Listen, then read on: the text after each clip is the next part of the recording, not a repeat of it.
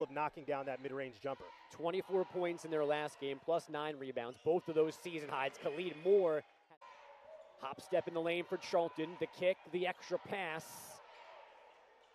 And Moore gets the bounce on the triple. That's great ball. Players, it's always all, it, it gets you in awe, even as a player yourself. Darius Quisenberry's three is through. Richardson Sims gets it over, but how about Abdou Tsimbila says no, you will get nothing and you will like it. Another block there, another look here, puts it against the glass. Go ahead, Ab. Work is going to be better than other bigs.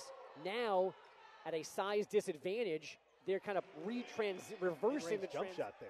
He also, after backdoor, more from yeah, Charlton. Perfectly designed there off the pass from Moore. Moore just goes right to the basket. Charlton says, arrows and everything has been contested. Charlton weaving down the lane. Tsimbila on the bounce for two. Quisenberry to Nowitzki with six to shoot. It's Richardson, and it's a three. For Fordham. Step through Quisenberry. Rose open. Got it for three.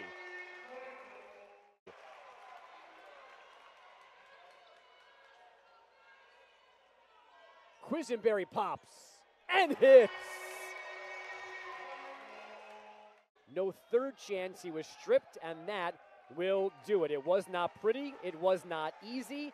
It was tight for almost a full 40 minutes, but it's another Fordham win. They're five for five in this building. They win three times in four days to win the inaugural Tom Konchalski Classic. And again, the Jim O'Connell most outstanding player is Darius Quisenberry.